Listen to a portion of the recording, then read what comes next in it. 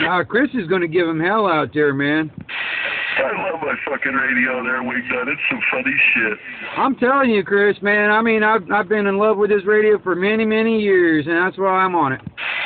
Oh yeah, nothing can make me laugh like this radio does. Hell, I can turn the channels on the TV and there's nothing on there that's gonna make me laugh like this thing does. I'm telling you. I like to laugh. Well, I'm gonna tell you something. If you didn't laugh, man, you'd probably turn around and start crying, wouldn't you? I don't know. I just always have laughed. My whole life I've been laughing, so I don't know what it would be like to be any other way. Yeah, Roger. I'm good at it too, you dumbass. That's the part that you don't like is how good I am at it. I can run my fucking mouth like nobody.